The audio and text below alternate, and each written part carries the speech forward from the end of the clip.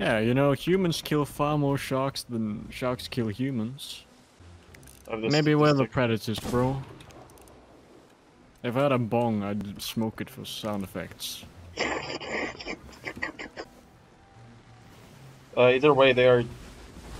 They're going parallel to us. What's going on? I'm being humped by the shark.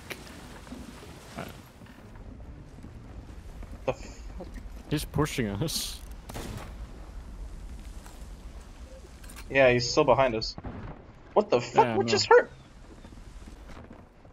What just hurt me? Are you pumping water? No. What the Uh, fuck? that- What?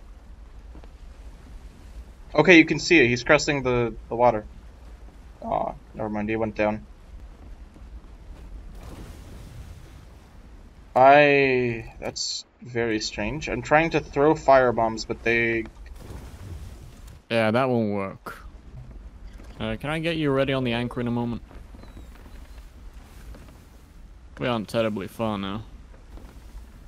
Uh, bone ship ahead. To the right There is? side. We might be able to deal with that.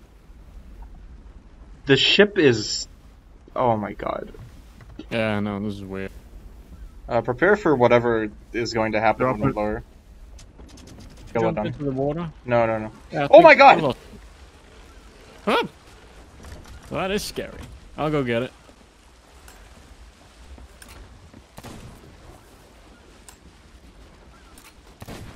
The wreck of the flying hell. Yeah, no, it can actually hurt players.